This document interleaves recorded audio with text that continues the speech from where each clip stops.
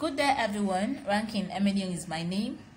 We are already on our way to Rejoice Garden Estates and as like you see, this estate is really behind Shelter Afrique Estate. So here in Shelter Afrique, you can see the modern houses, you can see the beautiful buildings and exactly this should be obtainable in Rejoice Garden Estate. No substandard building, okay?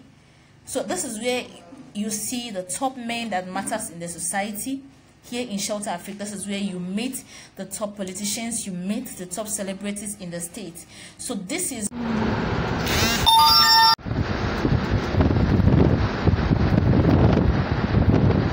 Good evening, Akwa Ibom. We are right here on the soil of Rejoice Gardens, Uyo, at Shelter Afrique Extension. Like you can see, work is already ongoing.